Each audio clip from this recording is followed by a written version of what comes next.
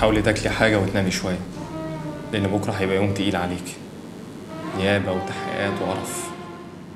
فارق معاك قوي يومي هيبقى عامل إزاي؟ أكيد طبعا.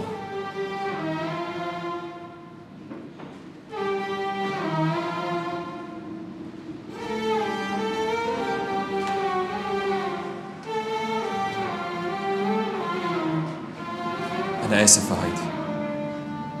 على إيه؟ على الوضع اللي انت فيه دلوقتي. بس صدقيني أنا مش مسؤول عن الوضع ده ولا حتى انت. إحنا الاتنين كنا مضطرين لكده. أنت معذور يا علاء لأنك ما حبيتنيش كفاية عشان تصدق إني مظلومه وتقف جنبي لحد ما أثبت براءتي. كل اللي كان همك إنك تطبق عليا القانون. يا هايدي أنا حسبت الموضوع من كل الزوايا.